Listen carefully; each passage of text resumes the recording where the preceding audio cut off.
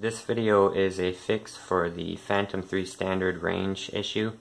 And the issue I've been having as well as others I've seen online is um, being unable to get a range greater than about 300 feet with and it seemed to happen somewhere after the 1.9.2 firmware update.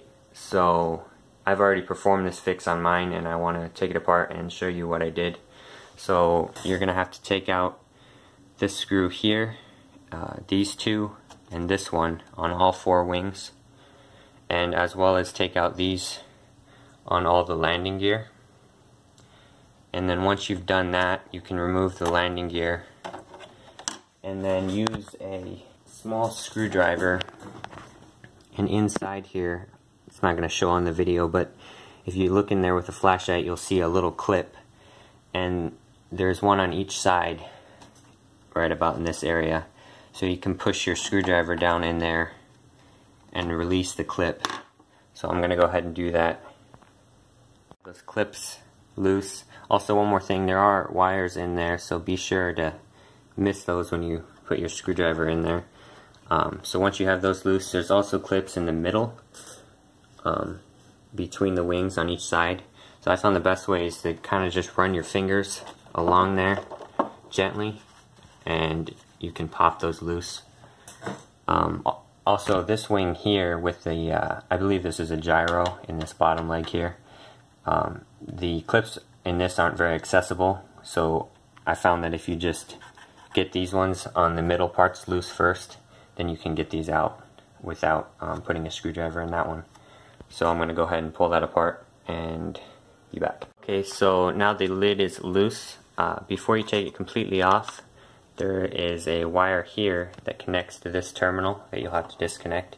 Uh, that's for the GPS. So once that's disconnected, you can remove the top lid.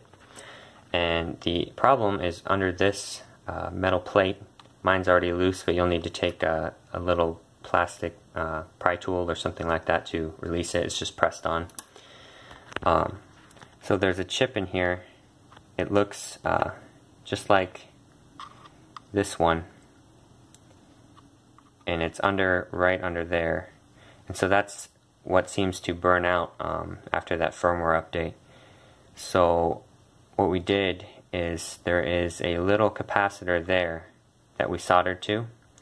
And then we took the other end of the wire and soldered it to that capacitor there which basically bypasses that chip. Um, we used a little pencil soldering gun just to to do that. And then uh, we were sure to uh, tin the wire first with a little solder. So we just heated it up and applied solder to the wire before we uh, placed it on the board. And then it just took a little heat and they soldered right to those two capacitors